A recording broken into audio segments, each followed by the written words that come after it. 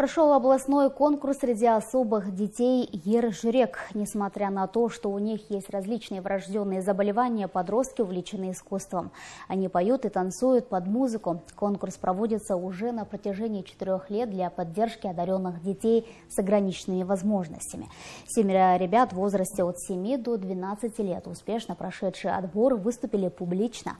Победителю был вручен компьютер, а прочим участникам денежные призы.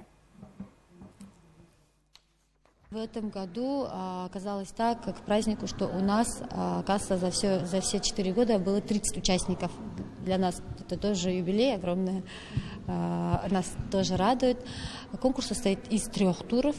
Первый тур у нас визитка, каждый ребенок о себе, о своей семье рассказывает. Второй тур у нас таланты, лепки, детки есть, которые рисуют, поют, танцуют разным. Талант, талант во всем а, третий тур у нас выход в вечерних нарядах. Наряды, а, макияж, прически, это все же мы, мы все предоставляем.